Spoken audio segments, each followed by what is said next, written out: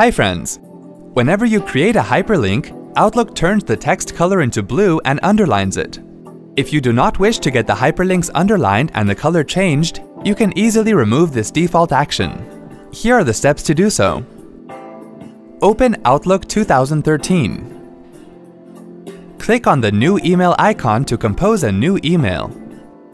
Now when we compose a text message containing a website address, you can see the underlined and blue-colored website address. To make the website address appear as normal text, click on the Format Text tab.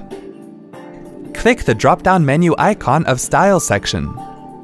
Click on the drop-down arrow icon next to Hyperlink and then click on Modify.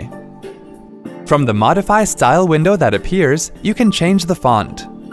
Click on the underline icon to remove the underline and then choose the color of your choice. Make sure to select the radio box next to Only in this document and then click on OK to apply the changes.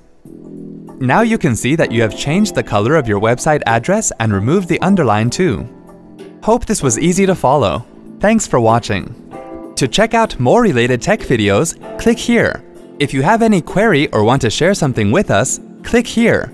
To get iYogi tech support, dial toll-free numbers. To stay empowered technically, subscribe to our channel.